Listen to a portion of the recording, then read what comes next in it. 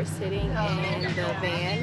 We got an hour and a half drive to our resort. Oh, okay, so she did get it. It's already oh, beautiful. I'm ready to sit out in the sun, get my bathing suit on, soak it all up. I know we've been gone for a while. A long time. Busy. Stuff happening at home. What?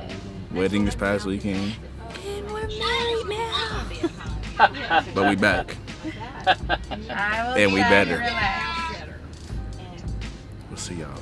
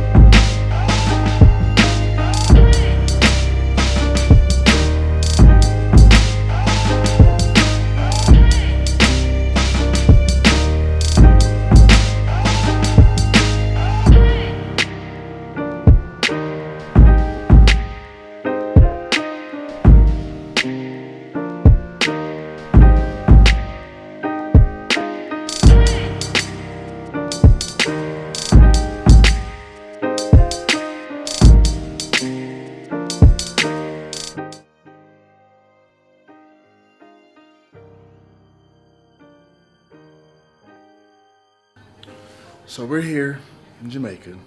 Yep, Hot. Getting dark. beautiful. Beautiful, having a good time.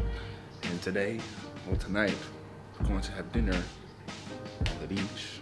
We are. A whole bunch of appetizers.